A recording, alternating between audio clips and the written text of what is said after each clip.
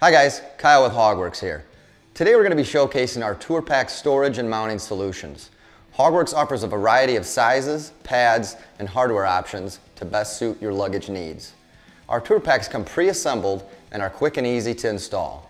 Now you can equip your 97 and up touring model for the long haul. To install your HOGWORKZ Tour Pack, you'll first need a bike-specific Tour Pack mount and hardware, as well as docking hardware. We have both available for purchase on hogworkz.com if you do not already have them. The first step is to install your metal base plate on the inside of the tour pack.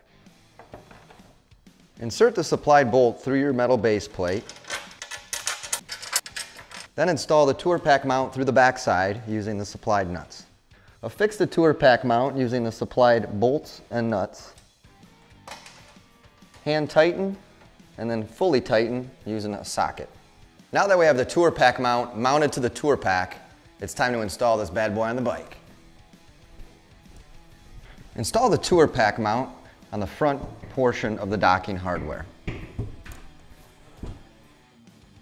Now engage your quick detach clamps.